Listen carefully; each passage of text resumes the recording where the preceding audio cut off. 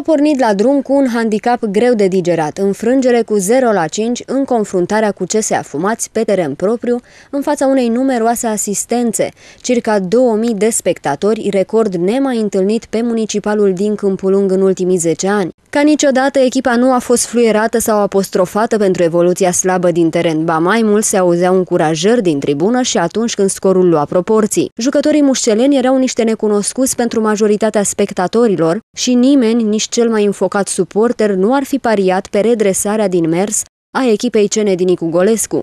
Aici au contribuit din plin cei 18 interpreți din teren sub bagheta ilustrului dirijor Alexandru Popovici. Au lăsat capul în jos și au muncit din ce în ce mai mult, iar rezultatele au început să apară chiar din etapa următoare, în deplasarea de la Bradu. Muștelenii au remizat 3 la 3 pe terenul uneia dintre cele mai incomode echipe, iar cu puțin noroc, ar fi putut obține victoria. De departe, în acel meci, remarcații tuturor au fost Simon Mazarache și Georgian Genaru, ambii jucători cu câte o reușită, dar și cu o evoluție peste media celorlalți jucători. Mazarache se încurcă în minge și prima ocazie gol. În sfârșit, în sfârșit, uh, Georgian Genaru, fratele celuilalt Genaru de la Atletic Bradu, reușește cu piciorul stâng de la 11 metri să trimită în vincul din poarta porții apărată de Bărăescu și astfel uh, mușcelenii reduc din uh, diferență. Toader se pregătește să execute această lovitură de colț a mușcelenilor.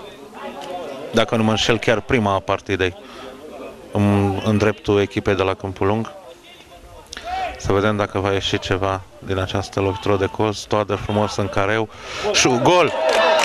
Extraordinar! Foarte frumos, foarte frumos. Leca s-a înălțat dintr-un buchet de jucători a echipă gazdă și trimite cu capul de la linia de 6, de 6 metri cu capul în dreapta portarului Bărăescu, astfel reducând din uh, handicap. Așadar, din minutul, 60, uh, din minutul 56, uh, Atletic Bradu CS Câmpul Lung Mușcel 3 la 2. Ieșim foarte frumos de acolo cu mingea la picior prin Mihailescu. Miloș. În interior. Și Mazarache reușește să restabilească egalitatea aici pe Atletic Bradu. O fază foarte frumoasă de atac a mușcelenilor. Mazarache Mazarache, autorul golului de 3 la 3 din această partidă. Astfel, Atletic Bradu, CN Dinicu Golescu, 3 la 3. Prin jocul foarte bun etalat în partida de la Bradu, încununat și cu marcarea unui gol, Simon Mazarache începea să devină atacantul de care echipa mușceleană avea nevoie. Au urmat jocuri dificile pentru Cene Dinicu Golescu, în care percutantul atacant s-a descurcat foarte bine. Atunci când nu a marcat, Mazarache s-a aflat în postura de servant pentru ceilalți jucători din atacul echipei, s-au creat spații în defensivele adverse pentru jucătorii veniți din linia a doua.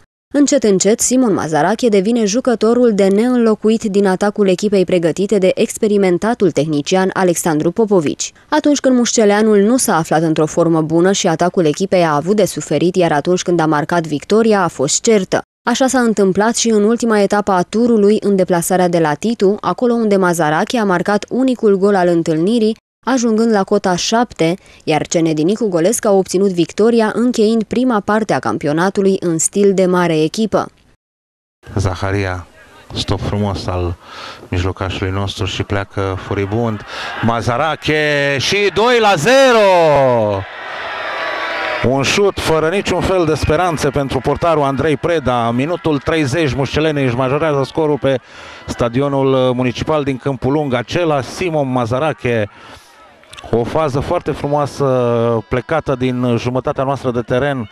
Zaharia a trecut de doi jucători în dribbling, i-a pasat lui Simon Mazarache în interiorul suprafeței de pedeapsă și percutantul atacant mușcelean n-avea cum să rateze într-o asemenea situație, învingându-l pentru a doua oară pe Andrei Preda cu un șut foarte puternic. La fel ca și colegul său din linia de atac Simon Mazarache, Georgian Genaru a avut o evoluție foarte bună de la joc la joc în această primă parte a campionatului. De fapt, micuțul mijlocaș are și o poveste extrem de interesantă.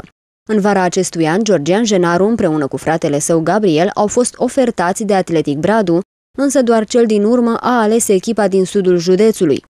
Georgian se pare că a ales foarte bine și a rămas la Câmpul Lung sub comanda lui Alexandru Popovici, care a știut cum să-i pună în valoare calitățile mijlocașului mușcelean. Efortul depus meci de meci, cât și jocul bun al lui Georgian Genaru pe întreg parcursul acestui tur de campionat a fost răsplătit cu selecția de la echipa națională Under 21, acolo unde timp de trei zile mușceleanul s-a pregătit, sub directa îndrumare a selecționerului Mihai Teja.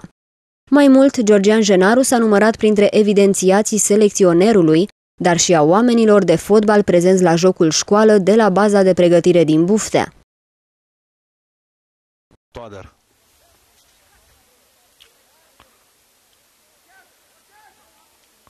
Trece foarte bine de 3-4 jucători, a trecut acolo și gol!